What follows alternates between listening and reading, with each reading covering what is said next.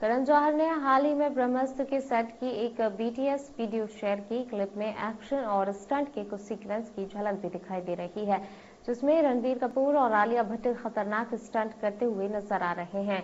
वहीं नागार्जुन और अमिताभ बच्चन का फाइट सीन भी चल रहा है। आपको बता दें कि करण ने वीडियो शेयर करते हुए लिखा कि सालू की जर्नी सिर्फ़ पाँच दिन में आपकी होने जा रही है। फ़िल्म का वी एफ़ एक्स एक करोड़ में तैयार किया गया है, जो कि 9 सितंबर को सिनेमाघरों में रिलीज़ होगी।